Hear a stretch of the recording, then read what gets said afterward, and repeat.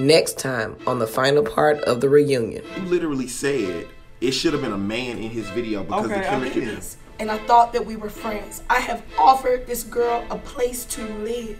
The statement, they not listening to us. They're not. They don't care. They don't We- value us at all. A don't. dog's life. Look at Michael more Vick. Look at Michael Vick. Hello. A dog's life is worth more than a black man or black woman in America today.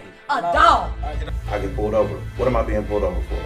Oh, just routine, routine traffic stop. Um, your car doesn't look familiar to the area. Yada yada yada.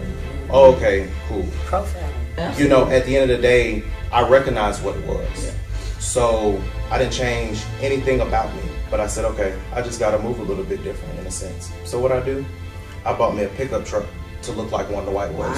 As black Americans are very, very comfortable with the bare minimum and the status quo. Don't say that. They hold on, Not- hold on, hold on. They Not don't- everybody, but Not all of us. Yeah, right. But as a collective, We settled. I was. I as, Yeah, a, settled. We as a settled. collective, all I'm saying was, so for me in this moment or in this atmosphere to call you out of your name compared to you assassinating my character, not not once but multiple times.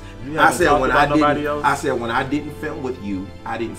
You as in you all, And that's I true. spoke on you. and I, especially in the city that we live in atlanta and there's already a connotation that comes with men in atlanta anything outside of the super hyper masculine you automatically on the demon l or you automatically questionable